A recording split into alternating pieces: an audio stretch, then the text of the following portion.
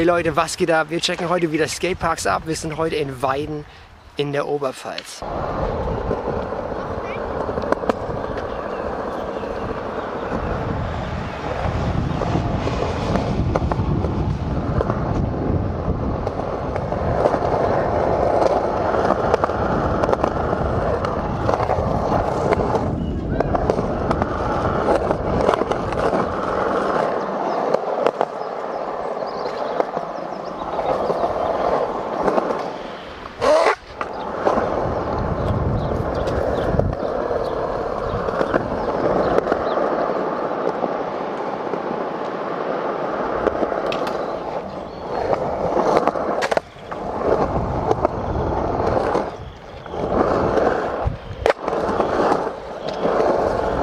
So, primär jetzt erstmal was zur Location, zur Lage von dem Skatepark. Der Skatepark befindet sich hier in Weiden, mit dem Auto gut erreichbar. Direkt nebenan ist ein Parkplatz, wo man kostenlos parken kann. Und es ist auch ein Jugendzentrum hier. Ich habe mir sagen lassen, wenn das Jugendzentrum offen ist, kann man auch die Toiletten im Jugendzentrum benutzen und der Skatepark ist auch beleuchtet. Neben dem Skatepark befindet sich auch Basketballplatz, Fußballplatz, Tischtennis, Platte, Kletterwand, alles mögliche geboten. Und was natürlich auch immer schön ist, um den Skatepark rum gibt es genügend Sitzmöglichkeiten. Also ich sitze jetzt hier und der Skatepark ist gleich hier. Ist schön, ist cool gemacht. Ja, jetzt gehen wir mal direkt auf den Skatepark ein und als allererstes, was mir sofort auch dem Milkosch aufgefallen ist, die Verarbeitung vom Boden ist echt komisch. Also der Boden an sich ist echt super von, vom Belag, also nicht so rutschig, aber Warum auch immer, ist er stellenweise so uneben. Sowas habe ich noch nie erlebt. Wenn ich es jetzt nicht besser wissen würde, würde ich meinen, die Leute, die den Boden gezogen haben, waren absolut hackedicht betrunken. Denn es einfach, es gibt hier keine, keine gerade Ebene, keine gerade Fläche.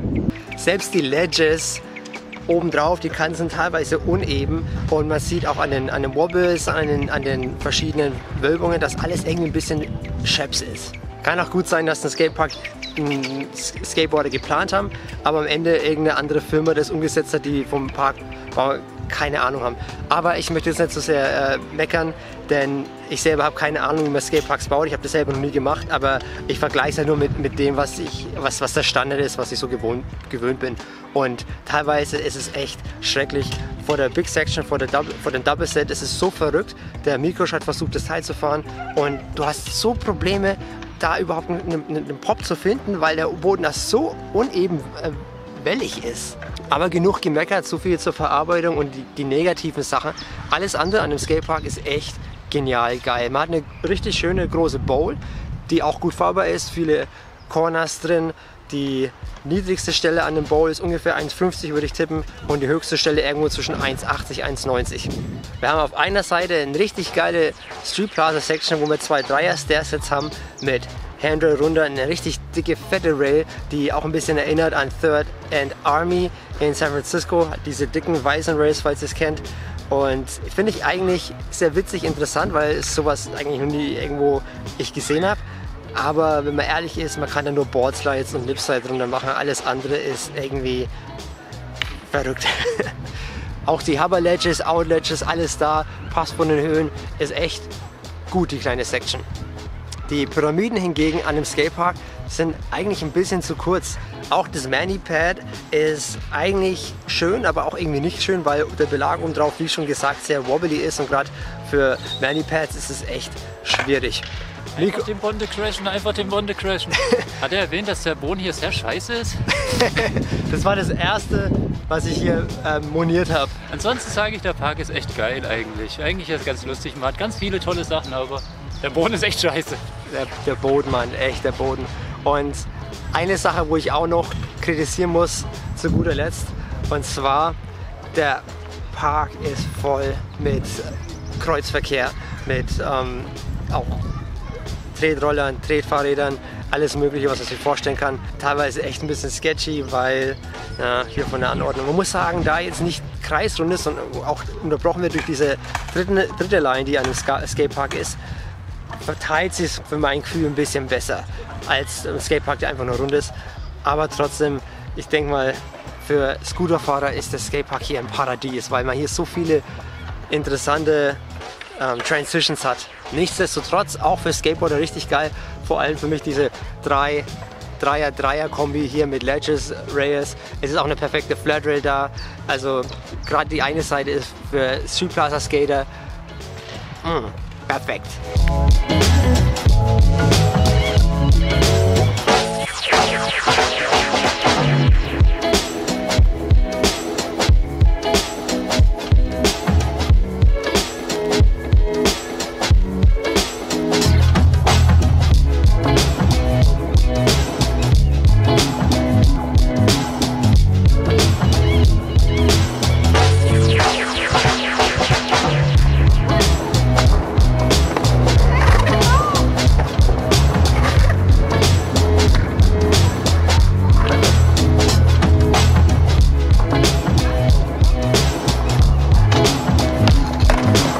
Jo, der Local hier wollte auch noch mit ins Video und wollte seine Meinung über den Skatepark loswerden. Ich habe vorhin schon gemeint, für Scooterfahrer ist der Skatepark sehr geil. Was meinst du? Ja, äh, sehe ich genauso. Man kann hier gute Tricks machen. Äh, ja, äh, die Rampen sind eigentlich ganz geil und äh, ich bin hier auch schon seit vier Jahren. Alter, krass. Also Local weiß Bescheid. Wenn ihr, äh, wenn die Scooter-Leute hier zuschauen auf meinem Kanal, ich weiß, es gibt ein paar, dann checkt den Skatepark aus, auch für Scooter geil.